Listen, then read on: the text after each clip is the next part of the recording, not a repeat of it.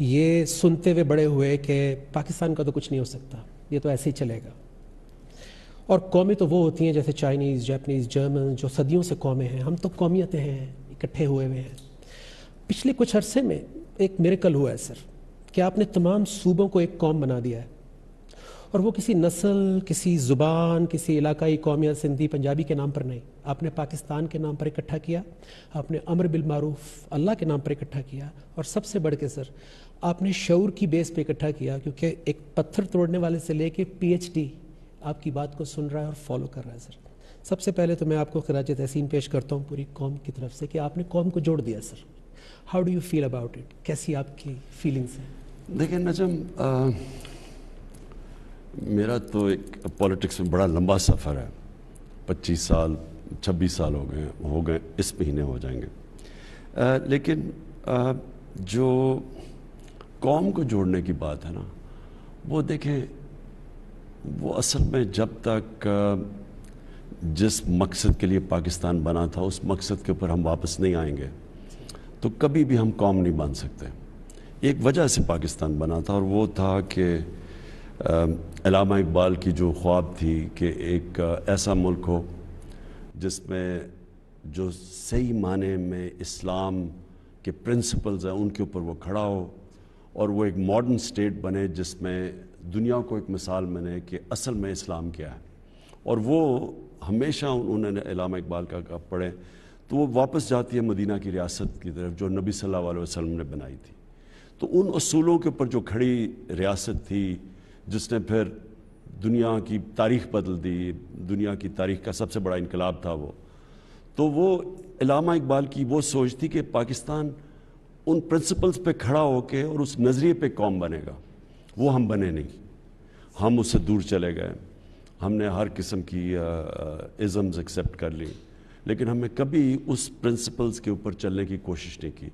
इसलिए फिर आप देखते हैं कि सुबाइत बढ़ जाती है, लसानियत बढ़ जाती है, क्योंकि वो जो वजह है कि जिस वजह से पाकिस्तान ने बनना था और हमने एक मिसाल बनी थी दुनिया में, वो बने ही नहीं हम। और इस ईस्ट पाकिस्तान भी इसलिए लैदा हुआ है। याद रखें कि ईस्ट पाकिस्तान में 99 परसेंट लोगों ने वोट की थी पाकिस्तान के लिए। यानी वहाँ बहुत ज़्यादा जज्बा था पाकिस्तान का। तो वो इस क्यों गया? क्योंकि हमारा वो जब जब नज़रिए बीच में से निकल गया तो फिर अपने सबने अपना अपना सोचना शुरू किया और वो नज़रिए के अंदर जो सबसे इम्पोर्टेंट चीज़ें थी वो इंसाफ थी। तो सूबों ने भी इकट्ठा होना था इंसाफ के ऊपर। कौम हर इंसान ने स्टेट के साथ लग जाना था क्योंकि स्टेट ने उसको इंसाफ देना था, उसको प्रोटेक्ट करना था। और फिर वो दूसरी चीज़ थी, एक इंसानियत, यानी एक फलाई रियासत। फलाई रियासत का मतलब होता है जब स्टेट अपने कमज़ोर तबके की ज़िम्मेदारी लेती है तो वो कमज़ोर तबका स्टेट के साथ जुड़ जाता है। और वो फिर स्टेट एक कौम बन जाती है, मज़बूत हो जाती है, जो कि मदीना की रियासत में उन्होंने साबित किया। वो एक मॉडल बना था हम सब के लिए। और फिर एक खुददार कौम, जो कि एक ला ला के ऊपर खड़ी होती है और वो फिर किसी के सामने झुकती नहीं, अपने पैर पे खड़ी होती है। और फिर जो कौमें जब तक पैर पे ना खड़े हों जिनों में कौमी गैरत ना हो जिनों में बड़ा मकसद ना हो, वो फिर कभी ऊपर नहीं जाती। सर, ये ये अवेयरनेस तो आपको पहले भी होगी। आप, दुनिया घूमी एंड आपने बहुत पढ़ा भी। लेकिन इसके लिए प्रैक्टिकली काम करने के लिए एक बहुत बड़ी ट्रांसफॉर्मेशन चाहिए होती है। मेरी आज के इस इंटरव्यू का जो सबसे बड़ा मकसद है वो ये जानना है कि ये जो आपकी जो अंदर तब्दीली आई है क्योंकि हमने वो विटनेस किया है ना टाइम सर कि आपकी जो फ़ैन फॉलोइंग तो सिर्फ़ आवाम नहीं थे sir people like Amitabh Bachchan Shahrukh Khan Aamir Khan Mick Jagger और दुनिया के सुपरस्टार्स आपको पसंद करते थे। सो so, इतनी शोहरत में तो इसका फाइव परसेंट में भी लोग आउट ऑफ़ कंट्रोल हो जाते हैं। उस जगह पर इंसान की ईगो भी बड़ी होती है वो अपने कंफर्ट जोन में भी रहना चाहता है वलनरेबल भी हो जाता है कभी गलतियाँ भी होती हैं। लेकिन आज आप जिस मुकाम पर हैं जो काम कर रहे हैं वो बगैर आजजी के बगैर ह्यूमिलिटी के पॉसिबल नहीं था। अंदर क्या हुआ था सर ये लड़ाई कैसे लड़ी आपने किसने हेल्प किया और ये कितनी मुश्किल थी सर देखिए ना जब मैं एक बड़ा खुशकस्मत इंसान वो था जिसने जो अपने लिए स्पोर्ट्स में टारगेट सेट किए वो अचीव किए। और फिर उसकी वजह से पॉपुलैरिटी भी और दुनिया में नाम भी मिला। तो एक तो ये होता है कि कई दफ़ा लोग एक ख्वाब की तरफ़ जा रहे होते, पहुँचते नहीं है वहाँ तक। लेकिन मैं वो था जो पहुँच चुका था वहाँ। तो वो मैंने, और वो जो सारी ग्लैमर की ज़िंदगी थी, वो एक तो आप बाहर से देखते हैं ना, एक दूर से देखते हैं, और एक आप पीछे से देखते हैं तो वो भी मैं देख चुका था। और मेरी जो ट्रांसफॉर्मेशन थी वो ज़रा लेट शुरू हुई। आ, उसकी वजह यह है कि मैंने रियलाइज़ किया कि हमें सही माने में कभी इस्लाम की तालीम नहीं दी गई। घर में माँ मा मेरी बहुत रिलीजस वालदा वालद भी थे। लेकिन जो हमें एजुकेशन मिलनी चाहिए थी मसल सबसे अच्छे स्कूल में था एच में। लेकिन हमें कोई प्रेपरेशन नहीं की गई कि सही माने में क्या मुझे तो ये भी नहीं पाकिस्तान क्यों बना था? फिर दूसरा कि हमें जो सीरत थी नबी की, वो हमें नहीं पढ़ाई गई। इस्लामियात हमने पढ़ी, लेकिन मुझे बड़ी लेट ज़िंदगी में मैंने नबी सल्लल्लाहु अलैहि वसल्लम की ज़िंदगी पढ़ी। और मेरे ट्रांसफॉर्मेशन उधर से आनी शुरू हुई। और फिर ट्रांसफॉर्मेशन इसलिए आई कि मैंने ज़िंदगी भी सारी देख ली थी और ग्लैमर की दुनिया भी देखी थी। और फिर मैंने मगरबी दुनिया अंदर से देखी थी। बड़े कम लोगों को इस तरह उन्होंने एक्सेप्ट किया मसन इंग्लिश सोसाइटी ने जिस तरह मुझे उन्होंने एक्सेप्ट किया था तो मैंने उसको अंदर से भी देखा था। फिर मैं, क्योंकि आधा साल क्रिकेट खेलता था इंग्लैंड में और आधा साल पाकिस्तान में तो इधर भी मैं अपनी सोसाइटी को देखता था। दोनों की ताकत और कमजोरियाँ कमज़ोरियाँ भी पता चलनी शुरू हो गई। लेकिन जो सबसे इम्पोर्टेंट चीज़ हुई कि मैंने आहिस्ता आहिस्ता अपनी ज़िंदगी से तजर्बे से रियलाइज़ किया कि असल में वो जो हम नमाज़ में मांगते हैं सीधा रास्ता, वो है क्या? तो हमें बड़ा एक गलत आइडिया था सीधे रास्ते का। मैं, यानी मुझे जब माँ मेरी वालदा जब हम सोने से पहले बच्चे होते थे तो कहती थी कि दुआ मांगो, अल्लाह सीधे रास्ते पे लगा। तो आहिस्ता आहिस्ता हम सोचते थे, वो सीधा रास्ता तो बड़ा बोरिंग रास्ता है। क्योंकि जो हम फ़िल्में देखते थे और जो हमारे हीरोज़ थे, वो वो जिस रास्ते पे थे, वो सीधा रास्ता नहीं था। तो उनका जो रास्ता था, वो एक्साइटिंग लगता था, वो अट्रैक्टिव था। लेकिन जो सीधा रास्ता था, वो बड़ा बोरिंग लगता था। तो वो मैंने आहिस्ता आहिस्ता नबी सल्लल्लाहु अलैहि वसल्लम की जब सीरत पढ़ी और फिर कुरान को समझना शुरू किया और अपने तजर्बे से रियलाइज़ किया कि असल में सीधा रास्ता हमारी बेहतरी के लिए और जिस रास्ते को हम ग्लैमरस और अट्रैक्टिव समझते हैं, वो असल में हमारी बर्बादी का रास्ता है। यानी वो हमें खुशी नहीं देता, वो और प्लेजर सीकिंग यानी आर्जी खुशी और हैप्पीनेस और जो खुशी है, उसमें एक्चुअली फ़र्क है। प्लेजर सीकिंग कुछ और है वो आर्जी खुशी होती है। और वो एक्चुअली आदमी को एक गलत तरफ़ ले जाती है एडिक्शन की तरफ़ ले जाती है तबाही की तरफ़ ले जाती है। और जो असल खुशी है वो असल में सीधे रास्ते में है। और सीधा रास्ता आसान रास्ता नहीं है मुश्किल रास्ता है ऊंच नीच है उसमें अंदर लड़ाई हुई होगी ना सर? तो अगर आप नबी सल्लल्लाहु अलैहि वसल्लम की ज़िंदगी पढ़ लें तो वो तो कोई आसान ज़िंदगी तो नहीं थी। तो सारा वक्त स्ट्रगल थी। लेकिन वो फिर एक इंसान की अजमत का रास्ता है। तो वो एक्चुअली ये मुझे बड़ा लेट समझ आई ज़िंदगी में कि वो असल में सीधा रास्ता हमारी बेहतरी के लिए। हम समझते हैं हम अल्लाह को खुश कर यानी अल्लाह को कोई फ़ायदा पहुँचा रहे हैं। अल्लाह को तो कोई फ़ायदा नहीं पहुँचा सकता। आपने एक, अभी एक वर्ड कहा कि सीधा रास्ता मांगते हैं सर। तो ये बहुत बड़ी बात है सर क्योंकि अक्सरियत तो पढ़ती है सर। नहीं जब आप मुस्तकीम पढ़ना और मांगने में ज़मीन आसमान का फ़र्क है असल में जी ये तो अल्लाह की दुआई आप पाँच वक्त में नमाज़ में ये कहते हैं कि अल्लाह उस रास्ते पर लगा जिनको तूने हमें नेम थे यानी वो रास्ता असल में नबी सल्लल्लाहु अलैहि वसल्लम का रास्ता है। क्योंकि वो अल्लाह के महबूब थे। सबसे ज़्यादा तो अरूज उनका कभी ऐसा इंसान ना आया ना आ सकता है। तो वो जो रास्ता है वो अस आप आहिस्ता आहिस्ता रियलाइज़ करते हैं कि वो छोटे से आदमी को बड़ा आदमी बना देता है। वो एक वो जो मैं बार बार अपने नौजवानों को बताता हूँ मौलाना रूमी की सेइंग कि जब अल्लाह ने तुम्हें पर दिए क्यों रिंग रहे हो चूंटियों की तरह? तो पर तो आदमी को होते ही मिलते ही तब हैं जब वो उस रास्ते पे जाता है। तो सर ये आ, बात की मेरे नज़दीक बड़ी वैल्यू है सर। और आप माशाल्लाह आपकी बात मैं देख रहा हूँ सर पिछले काफ़ी अरसे से कि वो वक्त गुजरने के साथ साथ हैवी होती जा रही है। उसमें ईमान बहुत वाज होता जा रहा है और क्लैरिटी आती जा रही है सर। और उससे लोग महसूस कर रहे हैं उसको लोग उससे लोगों की आँखों में आँसू भी आते हैं और वो उसको रिस्पॉन्ड भी करते हैं। ये क्या हालात आपकी बात और ईमान को ज़्यादा इंटेंस कर देते हैं पुख्ता कर देते हैं? नहीं देखिए आपका ज़िंदगी का तजर्बा सबसे बड़ा क्योंकि आप आ, आप जैसी जैसी ज़िंदगी में ऊंच नीच देखते हैं और मुख्तलिफ़ रास्ते जब जिस तरह मैं देख के आया हूँ मैंने तो बड़ी ज़िंदगी वो ऐसी ज़िंदगी गुजारी है, शायद ही किसी को इस तरह का मौका मिले। क्योंकि देखें, हमारी जो यूथ है, मैं देखता हूँ, अब वो जो, जिन चीज़ों से इम्प्रेस होती है, और जो पॉप म्यूज़िक और ये और वो, और जो हॉलीवुड स्टार्स और बॉलीवुड तो अगर आप इसके पीछे चले जाएँ पिक्चर के तो आपको एक और ही सीन नज़र आता है। वो मैंने देखा हुआ है।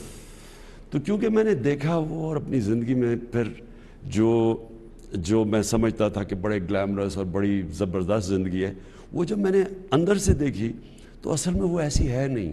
वो एक मराज है जिसकी तरफ़ से लोग लोग जाते हैं। और असल में जो ज़िंदगी जिस तरह मैंने कहा वो जो हम मांगते हैं अल्लाह से सीधे रास्ता वो उस ज़िंदगी में जो सुकून और खुशी मिलती है वो और किसी ज़िंदगी में नहीं मिलती। और आ, मेरी ये ऑब्जर्वेशन हैं ज़िंदगी में। मैं इतना बड़ा स्कॉलर नहीं हूँ लेकिन मैं अपनी ज़िंदगी हमेशा सोने से पहले हमेशा अपने दिन को का जायज़ा लेता हूँ। तो मैंने जो अपनी सारा एनालिसिस किया जायज़ा किया अपनी ज़िंदगी का तो मुझे और क्लियर होता गया कि सीधा रास्ता क्या है। और और समझ आनी शुरू हुई कि जो हम आ, इतनी अपना टाइम ज़ाया करते हैं जो हम इतनी बड़ी ग्लैमरस ज़िंदगी असल में वो इतनी अट्रैक्टिव नहीं है। सर बड़ी अजीब बात है कि कोई आपकी बात से इंस्पायर हो रहा है और कोई कहता है कि ये महज बातें हैं। ये बड़ी अजीब बात है। कि किसी को वो बात लग रही है और किसी का हाल ख़राब हो रहा है वो सुन के कि यार मेरा तो ईमान बढ़ रहा है, ये बात सुन के। क्योंकि ये जो बात आप करते हैं, ये ऐसे हो नहीं सकती अगर ज़िंदगी में तब्दीली ना आ रही हो। ये मुमकिन ही नहीं है और मैं इस बात का गवाह हूँ, सर, कि एक आदमी जो कुछ और लाइफ गुजार रहा है, उसकी ज़ुबान से ईमान की बात निकल ही नहीं सकती। सर, ये अल्लाह को मैं गवाह करके आपको बता रहा हूँ, जो मेरा एक्सपीरियंस है, सर। तो बात की जहाँ तक, सर वैल्यू है तो इस कायनात का आगाज़ बात से हुआ। कन कुन फ़यकुन अल्लाह ने बात ही तो की। फिर अल्लाह के नबी सल्लल्लाहु अलैहि वसल्लम ने बात की, दिल बदले, लोगों को जोड़ा। और आप भी कौम से बात कर रहे हैं। तो जब आपने बात की, सो लोगों ने लब बैक कहा और खुश आमदीद कहा अल्लाह की बात आपने की। और आपने उनको सुनहरी उसूलों की तरफ़ बुलाया इस्लाम के, वैल्यू सिस्टम की तरफ़। सो बहुत सारे लोगों को थोड़ा अजीब लगा कि ये सियासत में दीन कैसे आ गया? जबकि अल्लाह के रसूल सल्लल्लाहु अलैहि वसल्लम ने फरमाया था कि, पहुँचा दो मेरी रिसालत, चाहे एक आयत भी तुम्हें पता है। इसका मतलब है सब्ज़ी वाला स्पोर्ट्समैन बच्चा और इवन वज़ीर आज़म। उनकी भी ड्यूटी बन जाती है to propagate the message so ये क्या जवाब देंगे आप उन लोगों को जो ये समझते हैं? क्योंकि मेरा ये ख्याल है सर कि दीन से तो सियासत पाक होनी पाक हो जाएगी। कारोबार पाक हो जाते हैं रिश्ते पाक हो जाते हैं। वट वुड यू से देखिए मैं पॉलिटिक्स में आता ही ना। अगर मेरे में अल्लाह ईमान ना डालता क्योंकि अल्लाह की बात सबसे बड़ी उसका तोहफा होता है कि इंसान को ईमान। असल में चेंज इंसान में आता ही तब है जब उसके दिल में ईमान आ जाए। जो आपका बिहेवियर है, वो चेंज ही होता है बिलीफ के साथ। नहीं तो आप आप हमेशा अपनी जीन्स के, अपनी इन्वायरमेंट के, आप उसके ग़ुलाम रहते हैं। आप चेंज नहीं हो सकते। मेरी ज़िंदगी में जो मैंने लोगों को चेंज होते देखा, वो सिर्फ़ जब अंदर से ईमान आपको चेंज करता है। तो मेरी और ज़िंदगी थी चेंज हो गया। तो पॉलिटिक्स में मैं आया सिर्फ़ मेरे में ईमान था। कि ईमान जो है वह दो रास्ते हैं ना एक तो अपनी ज़ात का है आप अपने लिए ज़िंदगी गुजारें। और मैं जब क्रिकेट छोड़ी मुझे किस चीज़ की कमी थी? और क्रिकेट के ऊपर थोड़ी कम मैच के एनालिसिस करता रहता तो बड़े आराम से सारी ज़िंदगी में कोई किसी चीज़ की कमी नहीं थी। लेकिन जब आप में ईमान आ जाए तो अल्लाह फिर आपको जितना देता है उतना ही ज़्यादा ज़िम्मेदारी दे देता है कि आप बाकी इंसानियत के लिए क्या करते हैं। सो आपके ज़िंदगी इधर से चेंज होती है। ये जो दो रास्ते चेंज हैं कि एक रास्ता सीधा रास्ता और एक तबाही का रास्ता तबाही का रास्ते में एक बहुत बड़ी चीज़ होती है कि इंसान सिर्फ़ अपने लिए जीत जीता है। और अगर उसके पास पैसा है तो वो अपने लिए खर्च करता है या फेम है तो अपने लिए उसका इस्तेमाल करता है। जब आपको ईमान आ जाए तो आप पे अल्लाह ज़िम्मेदारी डाल देता है कि आप इससे जो मैंने सारी नेमतें तो अल्लाह की तरफ़ से है ना तो जो मैंने आपको नेमत दी इन नेमतों से आपने लोग इंसानियत के लिए क्या किया? तो बेसिकली ये ये फ़र्क होता है ईमान में और जब आप ईमान के बगैर ज़िंदगी गुजारें। तो जब मेरे मेहमान आया तो तब मैंने सोचा पहले मैंने हॉस्पिटल के ऊपर पूरा ज़ोर लगाया बनाया। और उसी दौर में मैंने रियलाइज़ किया कि असल में तो पाकिस्तान में फलाई रियासत की ज़रूरत है जिसकी वजह से मुल्क बना था इस्लामी फलाई रियासत जो हमारा नज़रिया पाकिस्तान है। तो फिर मैंने सोचा कि मैं पॉलिटिक्स में आके इस नज़रिए के पीछे चलूँ। तो मैं पॉलिटिक्स में आया इसलिए था। आप मकसद के साथ आए थे और पहले दिन से या का नाम दो या का नस्ताइन तो हमारा। नस्बुलैन था। कारोबार ना इंडस्ट्रीज़ ना और इसको हमने अपना नस्बुलैन बनाया और फिर हम हमने इस्लामी फलाई रियासत अपना ऑब्जेक्टिव बनाया। तो जब मैं प्राइम मिनिस्टर बना तो मैंने ये भी सोचा कि मैंने लोगों की एक प्राइम मिनिस्टर बाप की तरह होता है। तो मैं कोशिश करूँ कि अपने नौजवानों को वो रास्ता उस रास्ते पे लगाऊँ जिस पे इनकी बेहतरी है। तो अब इसमें मैं कई दफ़ा बोलता हूँ कई कईयों को असर होता है कईयों को नहीं होता। वो तो वो, तो ज़बरदस्ती तो है ही नहीं दीन में। लेकिन इंसान को कोशिश ज़रूर करनी चाहिए। और जो जो प्राइम मिनिस्टर होता है वो एक मुल्क का बाप की तरह होता है। सर। और हमारे इस्लाम में माँ बाप का बहुत बड़ा रुतबा है। सर। उसकी वजह है। ये वो क्यों माँ बाप की इज़्ज़त है? इसलिए नहीं कि माँ बाप कोई फरिश्ते हैं। इसलिए कि माँ बाप अपने बच्चों की भलाई चाहते हैं। तो वो अगर ज़िंदगी में उन्होंने गलतियाँ भी की हैं गुने भी किए हों बच्चे ना लेकिन वो चाहते हैं कि बच्चे ना उस रास्ते पे चले। तो इसलिए बच्चों को कहा गया कि माँ बाप की इज़्ज़त करो क्योंकि माँ बाप बेलॉस होते हैं। वो चाहते हैं कि मैंने अगर ये गलतियाँ की भी हैं तो मेरे बच्चे ना करें तो उनकी भलाई चाहते हैं। सर। सर इस मकसद के साथ साथ आपका वज़ीर अजम बनने का एक और मकसद भी मुझे नज़र आता है, सर। और मैं आपको इतफाक़ की बात है, सर, आपको शायद याद नहीं होगा 2004 में 9/11 के बाद जो पहला पाकिस्तान डे परेड हुई थी, आप उसका आखिरी खिताब दे रहे थे और मैं आखिरी परफॉर्मर था, मैंने अपनी हमद वहाँ पर पढ़ी थी। आपने वहाँ पर भी, सर, इस्लामोफोबिया को एड्रेस किया। फिर हर प्लेटफॉर्म पे जी पी यू लंडन में होती थी global unity peace event doctor Zakir Naik और बड़े बड़े और भी लोग आते थे। सर आप उस पर बात करते थे। वो भी मैंने आपकी बात स्टेज के पास खड़े होकर सुनी। सो so, मैं सर बहुत फ्रीक्वेंटली बाहर सफ़र करता था और दिल अंदर से रोता था कि जितनी बड़ी कैंपेन थी इस्लामोफोबिया उतनी बड़ी हमारे पास आवाज़ नहीं थी। और फिर 2015 में इंग्लैंड में था सर तो वो पेरिस अटैक्स हो गए। फिर कोई मुसलमानों की आवाज़ नहीं आई। वो पोप फ्रांसिस बोले हमारे हक में कि उन्हें हमदर्दी है मुसलमानों से और फ्रीडम ऑफ़ स्पीच की एक लिमिट होनी चाहिए। तो कोई आवाज़ नहीं आई मुसलमानों की। फिर सर वो वक्त आया, अल्लाह ने सुनी कि वो आवाज़ पाकिस्तान से उठी। और सबसे बड़े दुनिया के प्लेटफॉर्म यूनाइटेड नेशंस से वो आवाज़ आपने पूरी दुनिया को बताया कि इस्लाम की स्पिरिट क्या है फ्रीडम ऑफ़ स्पीच क्या है, और अल्लाह के रसूल सल्लल्लाहु अलैहि वसल्लम से हमारी क्या एसोसिएशन है। तो इस पे मैं और पूरी कौम आपकी शुक्रगुजार है एंड आई एम श्योर कि 1.5 बिलियन मुस्लिम्स वो भी आपका शुक्रिया अदा करते हैं। तो सवाल सर ये है कि वज़ी अजम बनने के जो मकासद थे मुझे ऐसा लगता है कि ये भी एक मकसद था आपका शुरू से क्योंकि आप इसको एड्रेस कर रहे थे सर। देखिए मैंने क्योंकि मेरी अ, बाहर जाना मेरे बच्चे अ, जब मेरी तलाक होगी तो बच्चे इंग्लैंड में थे तो मुझे जाना पड़ता था इंग्लैंड। उससे पहले मैं काउंटी क्रिकेट खेलता था इंग्लैंड में पता नहीं अठारह साल। और फिर अ, तो शादी और बच्चों की वजह से मुझे इंग्लैंड ज़्यादा जाना पड़ता था। तो मैं ये एक इस्लामोफोबिया को अपने सामने बढ़ते देखा। है राइट ये शुरू हुआ था सलमान रुश्ती ने जब किताब लिखी थी। तो उसने उसके बाद जो एक रिएक्शन आया मुसलमानों का और फिर मगरब का रिएक्शन उसके ख़िलाफ़ आया मगरबी दुनिया में। और मैंने देखा कोई मुसलमान स्कॉलर बढ़ के इसको ना कोई मुसलमान मुल्क के हेड्स ऑफ़ स्टेट कोई इसको काउंटर ही नहीं करता था। कोई भी नहीं उनको समझ नहीं आती थी क्योंकि उनके मुल्क में ज़्यादातर लोगों को समझ ही नहीं है कि मुसलमानों के लिए नबी सल्लल्लाहु अलैहि वसल्लम कैसे हमारे दिलों में रहते हैं हम इज़्ज़त करते हैं हम उनके लिए मरने के लिए तैयार उनको ये समझ ही नहीं है। क्योंकि वो मसलन अगर ईसाई भी हैं भी क्रिश्चियंस भी हैं लेकिन वो हज़रत ईसा को उस तरह नहीं करते जिस तरह हम कर, उनके ऊपर मज़ाइय फ़िल्म भी मैंने देखी हैं बनाई हैं। यानी उनका और तरी, तरीका। मुझे ये पता था। तो मैं हर फोरम पे ये बोलता तो रहता था कि कुछ इसके ऊपर बोलो लेकिन कोई बोलता ही नहीं था तो फासले बढ़ते रहे। मुसलमानों को वो कहते थे आज़ादी के राय के अगेंस्ट हैं फ्रीडम ऑफ़ एक्सप्रेशन के अगेंस्ट हैं। मुसलमान समझते थे जान के हमें हमें अ, हमें आ, प्रोवोक करते हैं इस तरह की चीज़ों से। तो मैंने जब मैं जब प्राइम मिनिस्टर बना तो मैंने फिर तब से कोशिश की कि मैं मुसलमान दुनिया के हेड्स ऑफ़ स्टेट्स को इस चीज़ का आगाह करूँ कि ये बड़ा जुल्म हो रहा है। जो करोड़ों मुसलमान रह रहे हैं मगरबी दुनिया के अंदर उनके लिए क्योंकि उनको हर बारी जब फिर नाइन अलेवन आ गया नाइन अलेवन में दहशतगर्दी को इस्लाम के साथ जोड़ दिया। और फिर ये दोनों एक एक वो नबी सल्लल्लाहु अलैहि वसल्लम जब शान में गुस्ताखी करते थे तो एक तब रिएक्शन आता था उसके ऊपर वो हमें बुरा भला कहते थे कि जी ये ये बड़े तंग नज़र हैं। और दूसरी तरफ़ जोड़ दिया हमें उसके साथ टेररिज्म के साथ इस्लाम और टेररिज्म तो मुसलमानों को बड़ा बुरा टाइम गुजरा। तो मैंने इसलिए शुरू किया पहले मैंने ओ में बात की कि आप सबको हेड्स ऑफ़ स्टेट्स को हमें उठाना चाहिए।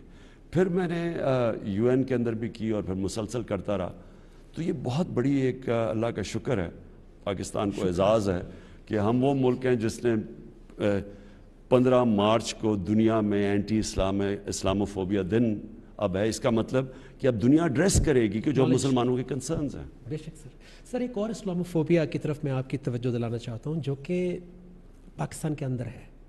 यानी नौजवान नस्ल जो जिसमें मैं भी था सर कि लगता था कि इस्लाम पाबंदियाँ हैं जैसे आपने कहा।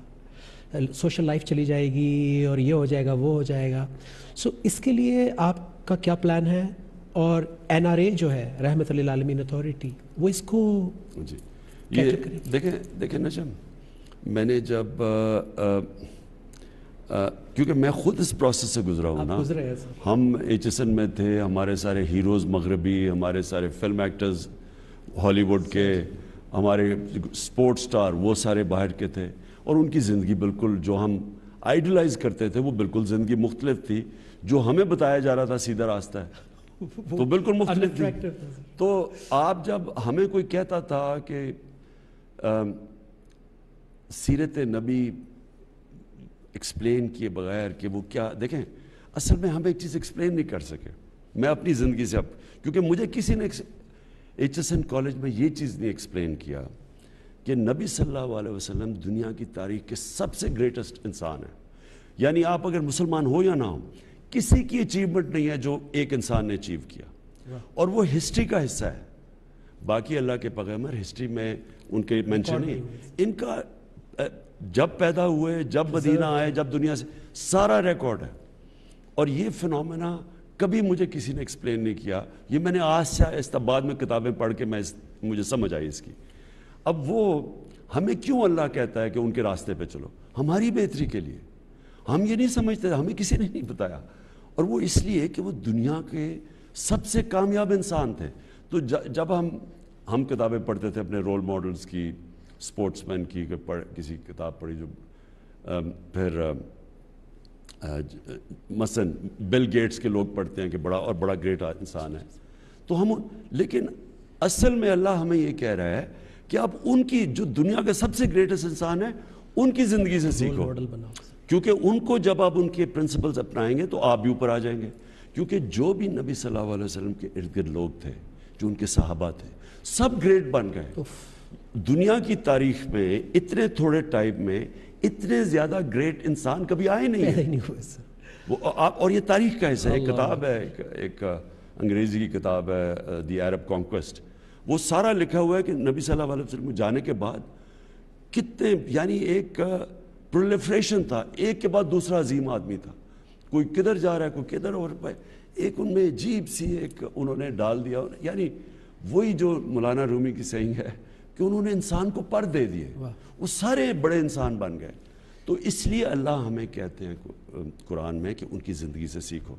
हमें इस चीज़ का नहीं पता था। और मदीना की रियासत इसलिए वो उनकी सुन्नत थी।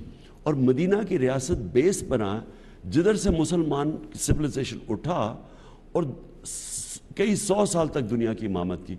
वो प्रिंसिपल्स आज भी वैलिड है।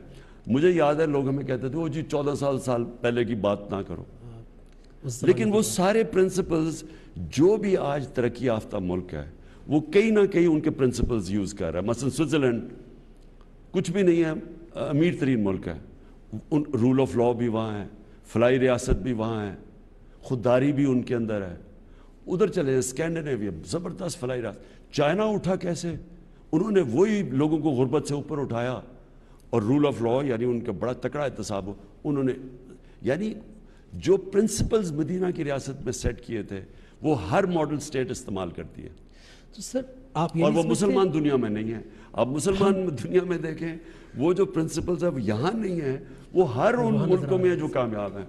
सर आपको ये नहीं लगता कि रोल मॉडल भी मिसिंग था जो रिले जिससे लोग रिलेट कर पाते हैं? क्योंकि जिसने बिरयानी बनाई है वही सिखा सकता है कि बिरयानी कैसे बनती है। आपकी बात कनेक्ट हो रही है बिकॉज़ आप के पास कंपैरिजन है वो ज़िंदगी गुजारते हुए यहाँ पहुँचे हैं जो कि बहुत सारे उलमा को मैंने सोशल मीडिया पे अप्रिशिएट करते हुए सुना है आपको कि आपने लोगों को बहुत सारी वो बातें समझाई हैं जो 75 फाइव ईयर्स में जैसे कलमा है नहीं पहुँचा उस तरीके से। हम समझते समझते रहे कि सिर्फ़ पढ़ना है लेकिन उसको लिव करना ला है। इल्लल्लाह एक एक इंसान की लिबरेशन है। यानी एक एक इंसान को आज़ाद करता है वो जो इकबाल का शाहीन है ना वो शाहीन बन ही नहीं सकता जब तक ला इल्लल्लाह उसके जहन में ना, इसके दिल में ना।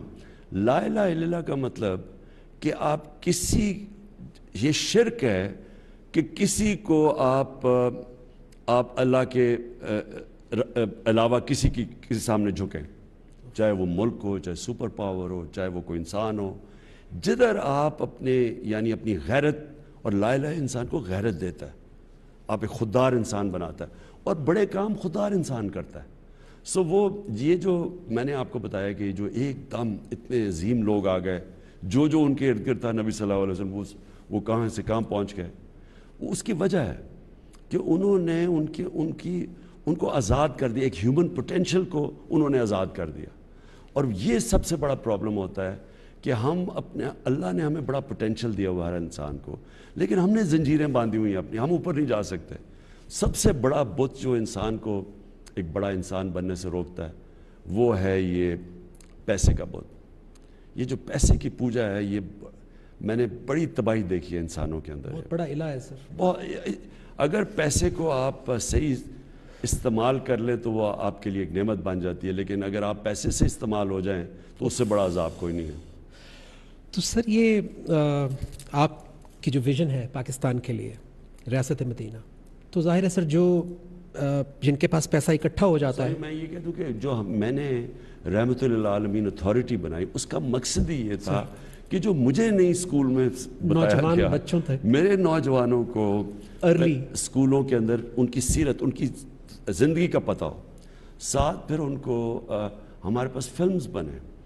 ऑल्टरनेट जिस तरह ये ये जो अर्तुगुल है ये जो टीवी तुर्किश ड्रामा जी, जी, ये एक ऑल्टरनेट देता है लोगों को। ये एक ऑल्टरनेट कल्चर बता रहा है अपने। नौजवानों तो जब तक आप अपने नौजवानों को एक पूरा एक हॉलीवुड और बॉलीवुड से कल्चर आ रहा है जब तक आप उसका मुतबादल नहीं देते तो वो तो वही जाएँगे ना आप कैसे करेंगे और तो तो मैं ये रहमतुल्लामीन अथॉरिटी सिर्फ़ बच्चों को सीरत नबी नहीं बल्कि इसमें स्कॉलर्स एक इंटरनेशनली भी मसलन जवाब दें अगर इस्लाम के ख़िलाफ़ कुछ होता तो कोई एक इंटेलेक्चुअल एक स्कॉलरली जवाब आए बजाय ऐसे हम तोड़ फोड़ शुरू कर दें अपना ही मुल्क का नुकसान करें। और फिर फिल्म्स बने सीरियल्स बने मुसलमान हीरोज़ की जिस तरह ये तुर्की ने उन्होंने शुरू किया। और फिर कार्टून्स बच्चों के लिए क्योंकि बच्चों के लिए कार्टून्स भी मैं देख रहा हूँ वो उनके अंदर एक इंडोक्ट्रिनेशन कर देते हैं। पूरा लाइफस्टाइल है सर एक वो उनको अच्छा हमारे माँ बाप में इज़्ज़त है हम बड़ों की इज़्ज़त करते हैं। आप उनके कार्टून्स देखें उसमें तो ऐसा है ही नहीं। कुछ ही नहीं सर तो वो हमारा जो और हमारे हर इस इसके पीछे कुछ है। हम हमारे जो इस्लाम के आदाब हैं जो हमारा कल्चर है उस सब के पीछे कुछ ना कुछ वजह मसलन पर्दा है। पर्दा सिर्फ़ कपड़ों का नहीं है। ये एक माशरे के अंदर ये एंटी फाशी है। वाह। और फाशी की एक एक बहुत बड़ा मसला एक माशरे के अंदर तबाही का है। मसलन ये जो रेप केसेस बढ़ते जा रहे हैं बच्चों के चाइल्ड अब्यूज़ जो पाकिस्तान में अब हर देखे मैं तो मुझे तकलीफ़ होती है अखबारों में देख के कि हर जगह आ रहा है कि कभी कोई बच्चे से जाती है कि कुछ है कभी औरतें रेप हो रही। आप अगर माशरे में फाशी बढ़ा देंगे तो ये कुछ ना कुछ तो इसका इफ़ेक्ट आएगा ना। और दूसरा प्रॉब्लम मोबाइल फ़ोन है। अब मोबाइल फ़ोन के वो मटेरियल आ गया बच्चों के सामने जो इंसानी तारीख में कभी बच्चों ने इस तरह की चीज़ें एक्सपोज नहीं बल्कि इंसान नहीं हुए। मोबाइल फ़ोन के ऊपर आप उसमें बड़ी एजुकेशनल चीज़ें हैं नॉलेज है सब कुछ है। लेकिन उसमें पोनोग्राफिक मटेरियल आता है जो कि अगर आप माँ बाप का बच्चों के ऊपर नज़र ना हो तो वो तो उसे हैंडल नहीं कर सकते ये चीज़ें। इसके बड़े रिपोकशंस है सोसाइटी में। और ये अभी हमारे मुल्क में नहीं ये दुनिया के अंदर इसके रिपोकशंस आ रहे हैं। तो मैंने इसलिए सोचा था कि हम अपने बच्चों को अब रोक तो नहीं हम सकते सोशल मीडिया को लेकिन हम कम अज़ कम उनको एक जो हमारा इस्लाम का जो लाइफस्टाइल है उनको आसान ज़बान में बच्चों की शुरू से उनको बताएँ तो सही वो है क्या? और आपने एक इंटरव्यू में बड़ी मज़ेदार बात की थी कि कम से कम हम उनको एक ऑप्शन तो दें क्योंकि दीन में जबर तो है नहीं। देखिए ना लेकिन एक राइट एंड रॉन्ग क्लियर तो हो जाए। दीन में इसलिए बल्कि आप ज़बरदस्ती कर ही नहीं सकते। सर ये ये तासर जाता है। जो मैंने डोमेस्टिक इस्लामोफोबिया की बात की थी तासर यही है कि शायद ये कोई इम्पोज किया जा रहा है हमारे ऊपर। दे- देखिए ना क्योंकि दिया इस तरह गया नहीं don't do this don't do that आराम ये, ये समझाया नहीं सर मैं देखिए ना आप ये जो ये जो टीवी ड्रामा अर्थगोल हर थ्रो अब इसमें कोई ज़बरदस्ती तो नहीं है आपने देखना या ना देखें। लेकिन अगर आप जब तो देखते हैं तो उसके अंदर एक ऑल्टरनेटिव लाइफस्टाइल आ रहा है। उसमें फाशी नहीं आ रही। उसमें इस्लाम भी बच्चों के लिए भी कुछ है फैमिलीज़ के कुछ है। और ये इस तरह के आपको मीडियम्स चाहिए। आप ज़बरदस्ती कभी कुछ नहीं कर सकते। ये बड़ी गलत फहमी है कि इंसानों को आप ज़बरदस्ती किसी, यानी रेजिमेंट कर सकते नहीं हो सकता ये। लेकिन आप उनको हथियार दे सकते हैं। अपने बच्चों को तैयार कर सकते हैं, उनकी तरबियत कर सकते हैं, ताकि वो समझ जाएँ मैं, मेरा भी अब कंटेंशन है कि एक दफ़ा एक एक किसी भी नौजवान के अंदर पूरी तरह समझ हो कि उसका दीन क्या है, उसकी तारीख क्या है प्रिंसिपल्स क्या हैं? सीरत नबी क्या है? उसको फिर दुनिया में जहाँ भी भेज दो वो फिर वो उसको उसका बेसिक वो तकड़ा रहेगा। उसकी लेकिन जब आपकी फाउंडेशन ही नहीं है तो आप तो हर चीज़ से मुतासर हो जाएँगे। और मगरब का टेक्नोलॉजिकल प्रोग्रेस इतना ज़्यादा है कि आप तो उससे मुतासर होकर फिर पूरी तरह ही अपना लेंगे उसकी अच्छाइयाँ बुराइयाँ दोनों ले लेंगे। इस वक्त जो मुझे ख़तरा हो रहा है कि हम हम क्योंकि हमें पूरी तरह मगरबी माशरे की ताकत और कमज़ोरियों का नहीं पता। मुझे ख़तरा ये है और ये मैं कई देखता हूँ और हमारे ज़माने में भी यही था कि हम उनकी बुराइयाँ ले रहे हैं और उनकी अच्छाइयाँ नहीं ले रहे। क्योंकि उनकी अच्छाइयाँ आप अगर देखेंगे मसल अमर बिल मारूफ। आप उस माशरे के अंदर अगर आपने अमर बिल मारूफ देखना है कि अच्छाई के साथ खड़े होना है और बुराई को आपने ख़त्म करना है या बुराई के ख़िलाफ़ माशरे ने खड़ा आप उन माशरे में चले आप स्विट्ज़रलैंड चले जाएँ। स्कैंडिनेविया चले जाएँ बरतानिया चले जाएँ। एक माशरा एक्टिवली लड़ता है इनके अगेंस्ट आप अगर कोई पब्लिक का पैसा चोरी करे वो अपनी शक्ल नहीं दिखा सकता कहीं उस माशरे में। बड़ी अजीब बात है सर। वैसे वो मस्त लगते हैं लेकिन जब कोई ऐसा लॉ ब्रेक होता है तो वो एकदम नहीं सारी सोसाइटी सारा। मीडिया उनकी सारा जो जो सोशल मीडिया उनकी यानी किसी जगह पे वो आपको अपनी उनके पॉलिटिशियंस जो मर्ज़ी अंदर से हो बुराई के खिलाफ सब खड़े हो जाते हैं। और यहाँ हमारा ये प्रॉब्लम है जो सबसे बड़ा नुकसान किया ये करप्ट लोगों ने इस मुल्क को बार बार हुकूमत करके और उनके फिर जो पूरा एक सेटअप उनके साथ मिल गया पूरे माफियाज उनके साथ मिल गया मीडिया के अंदर भी कि उन्होंने बुराई को बुरा नहीं किया पाकिस्तान में। हम अच्छाई और बुराई के अंदर जो फ़र्क है वो ख़त्म कर, कर दिया उन्होंने और ये सबसे ज़्यादा एक माशरे को आपने तबाह करना है, अच्छे बुरे की तमीज़ ख़त्म कर दें। सर, अल्लाह के रसूल सल्लल्लाहु अलैहि वसल्लम को तेईस साल लगे। बींग रहमतमीन ख़ातमनबीन असहाब कराम साथ, फिर भी तेईस साल लगे सर, फ़तेह मक्का और फिर वो सोसाइटी बनते बनते। हमें तो सर सौ साल भी लग सकते हैं। वो तो अल्लाह के रसूल थे। लेकिन आपने एक आगाज़ कर दिया है, आपने एक तस्वुर दे दिया है। सो अल्लाह आपको इन एक मौका जब और देगा। तो फिर आप क्या करेंगे सर जो इस दफ़ा और अभी तक आपको लगता है कि आप नहीं कर पाए सर? और इंसाफ की भी सर उसमें क्या वैल्यू है देखिए सर? नजम प्रॉब्लम पता है क्या है? कोई ज़िंदगी में शॉर्टकट नहीं होता। वाह। आज तक कोई भी मुझे बता दें किसी ने कोई बड़ा काम किया और शॉर्टकट लेके कर दिया। हो नहीं सर। कोई लीडर हो जो शॉर्टकट से बना जितने भी बड़े अल्लाह के लीडर बनाए। तो बिल्कुल भी नहीं है सर। नहीं और जो इम्तहान के बाद और बड़ा आ जाता है नहीं लेकिन नजम आप देख लें कि नबी सल्लल्लाहु अलैहि वसल्लम दुनिया के ग्रेटेस्ट लीडर थे।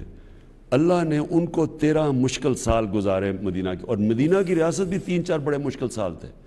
तो मुश्किलें जो आती है ना आपके ऊपर, ये इंसान को, इंसान के अंदर से वो जो अल्लाह ने ताकत दिया पोटेंशियल वो निकालती है। जब आप रेजिस्टेंस के सामने खड़े होते हैं तो तभी इंसान के अंदर सलाहियतें निकलती हैं। अगर आप आसान रास्ता ले लें, वो जो दो रास्ते हैं, एक अजमत का रास्ता है एक तबाही का, वो आसान रास्ता होता है। इंसान शॉर्टकट ले लेता है। तो ये कहना कि हम पाकिस्तान में कोई एकदम इस तरह करेंगे और मदीना की रियासत बन जाएगी। ऐसे नहीं होगा। ये एक माशरा मिलकर जद्दोजहद करता है। एक स्टेट उसकी जिम्मेदारियाँ होती हैं वो रूल ऑफ़ लॉ कायम करता है इंसाफ के लिए पूरे वो वो कोशिश करता है। वो फिर एक वेलफेयर स्टेट बनाता है कि हर जो पीछे रह गए ज़िंदगी रेस में उनको उनकी मदद करे जो फलाई रियासत है। लेकिन जो अवाम है, उन पर लाजम कर देता है अल्लाह कि वो अमर बिल मारूफ पे खड़े हो। यानी वो फिर, उनकी ज़िम्मेदारी ये है कि बदी को वो ख़त्म करें, अच्छाई के साथ खड़े हों। फैसला करें, अच्छाई बुराई क्या। हर इंसान जानता है अच्छाई बुराई क्या है। सर, ये सब सिर्फ़ इमरान खान ने करना है या पूरी कौम को इसमें अपना हिस्सा डालना है? बजाय कि सिर्फ़ जज करने के या कमेंट करने के कि शायद आपने ही करना है आपने ही करना है। पूरी सोसाइटी को इसमें अपना रोल प्ले नहीं करना सर ये हो ही नहीं सकता ये तो एक सारा माशरा एक इस इस तरफ़ चलता है। लेकिन शुरू में थोड़े से लोग होते हैं। सर आप सारे अल्लाह के पैगम्बरों की ज़िंदगी देख लें बड़े बड़े लीडर्स की ज़िंदगी देख लें। नेल्सन मंडेला कितने लोग थे उसके साथ शुरू में। फिर एक सारा हजूम आ जाता है। इसी तरह आ, हमारे कायद अजम मोहम्मद अली जना हमारे ग्रेटेस्ट लीडर कितनी देर वो जैसे पोलिटिकल विल्डरनेस की बात करते हैं कि कोई भी नहीं था उनके साथ थोड़े से लोग थे। और फिर एकदम वो तो ये ये अल्लाह का एक ये निज़ाम उसने बनाया हुआ है कि आखिर में जो सच पे खड़ा होता है हक पे खड़ा होता है वो फिर प्रिपेल करता है। कौम उसके साथ चलती है। सर आप लोगों को बता, क्या बताना चाहेंगे कि आप पाकिस्तान को नेक्स्ट टेन ट्वेंटी ईयर्स में या और ज़्यादा टाइम चाहिए कहाँ देखते हैं सर? असल में जी क्या आपकी विजन है सर मैं मैं आपको बताता हूँ देखिए पाकिस्तान 22 करोड़ के लोग हैं और बदकस्मती से हम हमारे ऐसे लीडर हैं वो कहते हैं कि बेगर्स आर नॉट चूजर्स यानी कि अगर हम मकरूज़ हैं तो हम गुलाम हैं। तो इसका मतलब हम सारी ज़िंदगी गुलाम रह जाएँगे। या वो कहेंगे जी अमेरिका ने लाइफ सपोर्ट मशीन पर डाला हुआ जब आपकी लीडरशिप पे ऐसे लोग आ जाते हैं वो सारी कौम का पोटेंशियल ख़त्म कर देते हैं। कौम देखे ना जी कौम तो उठती है एक खुददारी के ऊपर एक नज़रिए के ऊपर कुर्बानियाँ दे के ऊंच नीच से गुजरती है वो। लेकिन कौम कभी भी वो कहते हैं ना तिफल क्या गिरेगा जो घुटनों के बल चले? आप घुटनों के बल चल के कभी भी कौम नहीं बन सकते। तो